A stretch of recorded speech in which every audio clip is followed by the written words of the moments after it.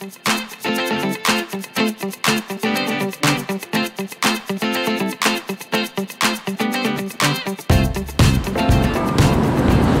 chào các bạn, trên tay mình đang là chiếc điện thoại có thể đeo ở trên tay.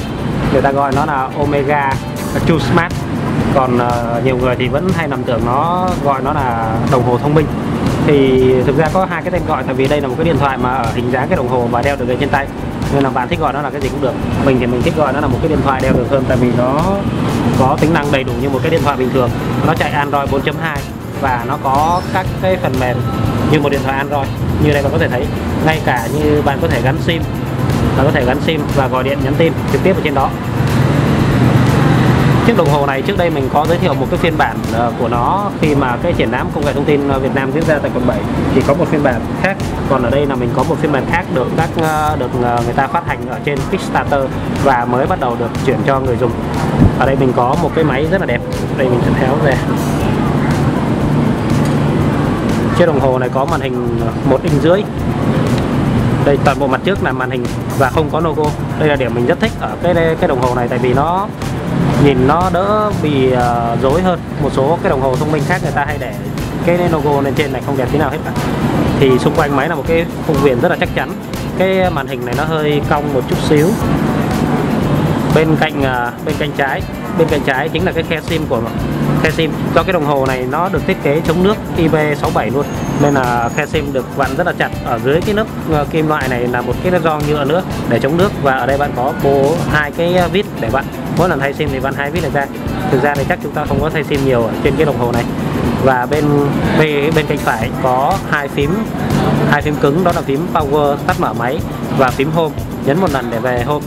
Và ở đây chính là cái camera của máy nếu bạn nhớ không nhầm thì uh, chúng ta gần đây chúng ta có một cái đồng hồ có thể quay chụp hình và quay phim được đó là cái Galaxy Gear của Samsung và nó đặt một cái cục ở đây. Còn cái đồng hồ này thì nó đặt ở bên cạnh này. Thì khi mà đeo trên tay chúng ta muốn uh, chụp hình thì chúng ta phải co cái như thế này. Hơi mỏi tay xíu nhưng mà nó lại thuận tiện hơn. Đó còn đây là phím home và phím uh, phím phím power và phím home. Hai phím này cũng hai phím này hơi cứng mình nghĩ có thể là do người ta làm để cho nó chống nước, do đó ở dưới này có các cái gao nhựa hơi cứng một chút xíu. Đây là cái màn hình chính.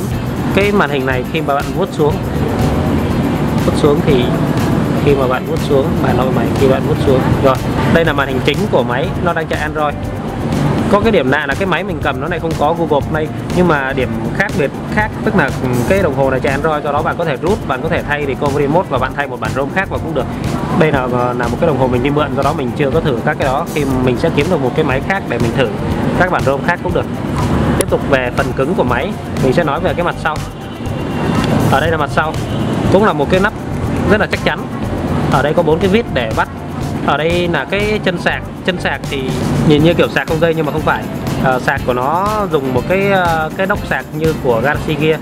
Chùm vào và chúng ta sử dụng cáp ờ, micro USB để sạc. Đây là một điểm mình không thích.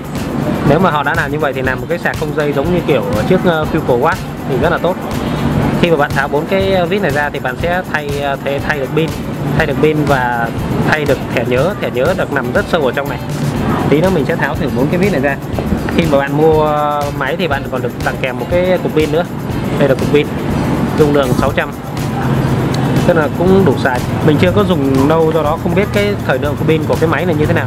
Nhưng mà theo như những đánh giá trên mạng thì cũng có thể dùng được một ngày. Cái điểm không thích đó là khi mà bạn tắt máy khi bạn chạy ngoài đường muốn coi giờ thì bạn buộc phải nhấn. Chứ đồng hồ không có thường trực, đây là điểm mà cái mình không thích gọi đây là cái đồng hồ, tại vì đồng hồ thì phải coi giờ liên tục được.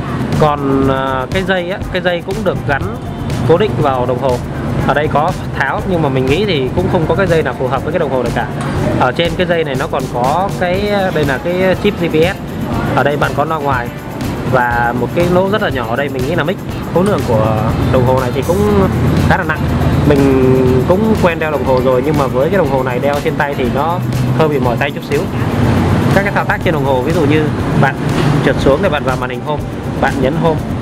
Và muốn bách này thì sao? Muốn bách này thì vuốt từ phải qua trái là bách. Vuốt từ phải qua trái. Và muốn có menu thì vuốt từ trái qua phải. Nó hiện ra menu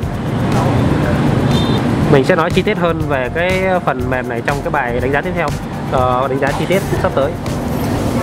Ở đây là cái khe khay sim mà mình đã tháo cái nắp che của nó ra. Ở đây bạn có thể thấy một cái sim micro sim ở trong này. Bạn nhấn và thì nó sẽ ra ra và để bạn thay sim. Tức là khi mà bạn thay sim thì bạn không cần phải ờ, mở nguyên cái nắp sau. Bạn chỉ cần mở cái nắp ở đây thôi. Bạn hai con vít là ra được rồi. Còn ở đây đây là cái nắp sau của máy và mình đã vặn bốn cái vít ra rồi. Bốn cái vít ra khi mà bạn vặn bốn cái vít này ra thì bạn sẽ mở được bên trong. Bây giờ mình sẽ mở bên trong cho các bạn coi đây đây là cái nắp sau. Nắp sau đã có bốn cái chân là chân sạc. Và ở dưới ở dưới chúng ta có một cục pin. Cục pin dung lượng à, 600 phía dưới cục pin. Đó là, đây là khe cắm thẻ nhớ. Và cuối cùng là men của máy. Để chống nước thì ở đây người ta có trang bị một cái gioăng nhựa rất là mỏng ở đây. Và bạn cần phải vật chặt máy lại để cho nó chống nước. Vâng xin cảm ơn.